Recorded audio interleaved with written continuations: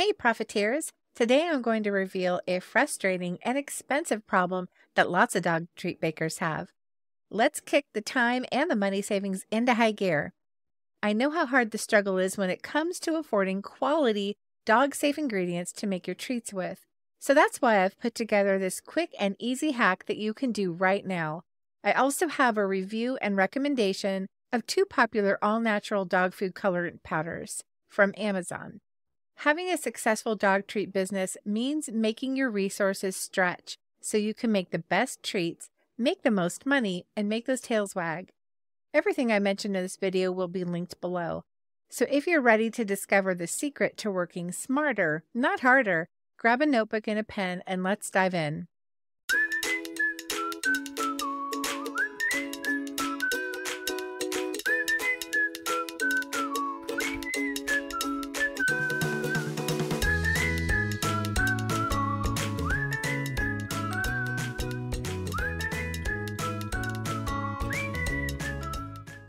Hey, profiteers! Welcome to Pawsitive Profit. Do you want to start a dog treat business with healthy recipes and make money selling them online and in shops? Do you find yourself up late at night wondering how to keep your soft treats fresh and sell them on social media? Do you wake up with big, ambitious goals only to feel confused and disappointed when your soft treats mold and you still don't know how to promote on social media again? Hey, I'm Kara. I too wanted to be a dog treat business owner. I also felt discouraged trying to keep my soft treats fresh, and I wished I had more online sales instead of only selling them at markets. I wanted to be home to bake more treats and make money selling them online. But I kept telling myself that I didn't know enough healthy dog treat recipes, have the Instagram know how, or understand how to properly store my soft dog treats so they'd last longer. Until I learned how to make and sell healthy treats that dogs love and customers want to buy. In this podcast, you'll find natural dog treat recipes, kitchen tips, and all the secrets to selling dog treats online so that you'll make money and have time to bake more treats. Give your dog a treat, grab one for yourself, and let's dig in. Did you know that I have a free community of bakers just like you? It's a place where dog treat inspiration is shared freely with recipes, decorating tips, business ideas, encouragement, and so much more. Come on over and join us at facebook.com slash groups slash start a dog treat business. Hello, dog treat bakers. Welcome back to another episode of Pawsitive Profit. I'm your host, Kara Brothers, your guide to turning your passion for pup treats into a thriving business. Today, we're tackling a common woe chunky and clumpy, all natural, dog safe food color powder. You know, the stuff in the bag that was powder, then you look and now it's chunks and you can't do anything with it. Let's dive into a quick and effective hack to save your colors and your creations. Have you ever faced the frustration of clumpy colorant powder ruining your creations? Like this? This chunky mess right here? It's so frustrating when our colors harden on us. I always seem to have my dragon fruit powder harden on me, bag after bag. I wasn't sure what was the problem. I decided to switch brands to see if it made a difference, and it did. However, I still had three partial bags left of the previous brand that were filled with these hard pink rocks. What can you do with these? Well, I didn't want to throw them away. This stuff is expensive. I've got your back and I'm going to show you a hack. In this segment, we'll explore the common issue of colorant powder turning hard and chunky, resulting in setbacks in your baking endeavors. Let's unravel the mystery behind this and discover a game changing solution. So, here's the game changer it's a quick and easy hack to revive all those hardened chunks left in the bottom of the bag. In this step by step guide, we'll discuss the magic of dissolving the chunks with hot water. No more tossing away expensive powder. Join me as I make these colors vibrant and usable again. So, as you know, the secret is hot water. Let me show you what I mean. Put your powdered colored chunks in a bowl and simply add a little bit of hot water. And take your spoon and with the back of a spoon, just start pressing the chunks like against the side of the bowl. This is dragon fruit powder, and dragon fruit powder has a high sugar content. So it would only makes sense that hot water would help dissolve the natural sugars, which is exactly what it's doing. I have a feeling that moisture in the bag caused it to clump in the first place. So a little bit is bad, but as you see, a lot is making it better. So just keep doing this. And as you see, we're, we're already starting to dissolve the chunks. So just keep at this process until most of the chunks are out. If you can get them all out, that's great.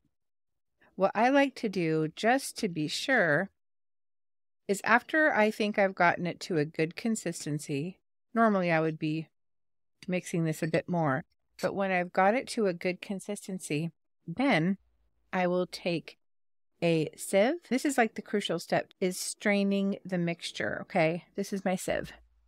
It's a little bit hoopty, but no worries. And then pour this mixture through the sieve and with the back of the spoon, just go in there and smush any chunks that remain through the sieve to make sure you've gotten them all.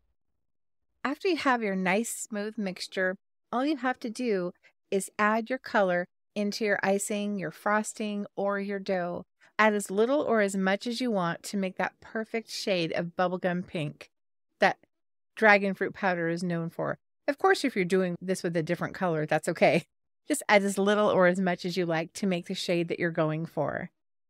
So this is how you're going to create this lump-free consistency with this really, really easy technique. And straining it is the way to go, just to make sure you get all the lumps out. The entire technique of dissolving the clumps in the hot water and straining it through that fine mesh sieve works for any chunky color powder, any color you have. So say goodbye to clogged pastry tips and messy mishaps. You guys know what I'm talking about. You're either constantly shoving a toothpick into the end of the pastry tip to scoot the chunk out of the way to unclog the tip and keep the icing flowing, Heaven forbid you guys are using a one or a two or a zero round tip and the toothpick won't even go in. And then that's a that's a difficult situation. You have to take your icing out. You have to disassemble the tip from bag, go rinse out the tip, get something smaller than a toothpick. It's just annoying. Either that or you end up squeezing the bag too hard because you think that chunk is just going to pop out the end and you're going to keep going. And what do you do? You accidentally blow out the seam on the side of the bag, and then icing starts pouring out the side. Any way you go, it's no fun. It's a time waster, it is a money waster.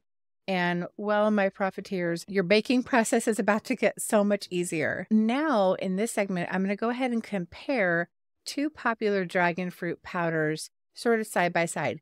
And I think you already saw one of them, and that is by Suncore. It is their Flamingo Pink Pitaya Dragon Fruit Powder. This is from Amazon.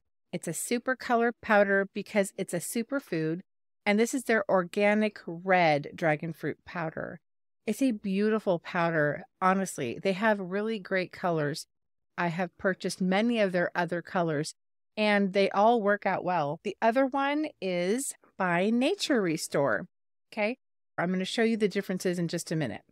So I got these both on Amazon. And as you saw before, the powder from Suncore, it's chunky. I think I had this bag for like two weeks before I started noticing all of these chunks and these clumps. I mean, they're totally hard, like super hard. Like, what do you do with those? And as I mentioned, this stuff is expensive.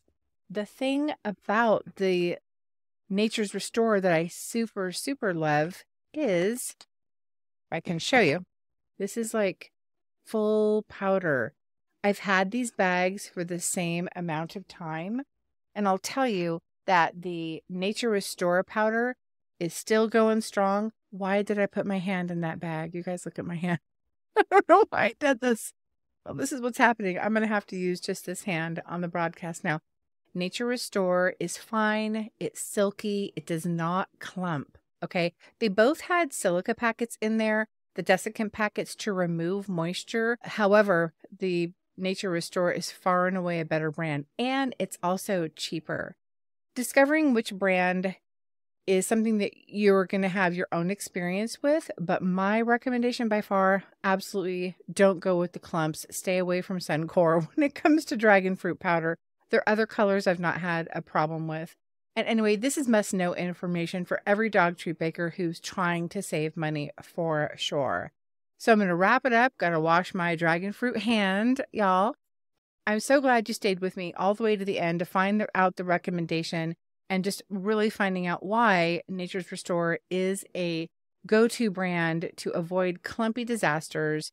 Don't let your ingredients sabotage your creativity because when you're in the zone, you're in the zone, everything's flowing. The last thing you need is to deal with these nasty mishaps, having your pastry bag, you know, blow out or your tip clogged or whatever. Say goodbye to the chunky color crisis and hello to a smoother, more enjoyable baking experience. Until next time, happy baking! Hey, Baker, I hope you enjoyed today's episode. If so, would you take 30 seconds and share it with a friend who may want to bake dog treats and make money selling them online and in stores? Also, please leave a quick review for the show on Apple Podcasts. It makes me so delighted to know this podcast is helping you. Okay, time to go make another batch of doggy donuts for the sales I got on Instagram. No more markets every single weekend. I'll meet you back here every Tuesday and Thursday for more tasty dog treat content. Until then, don't forget to treat yourself well.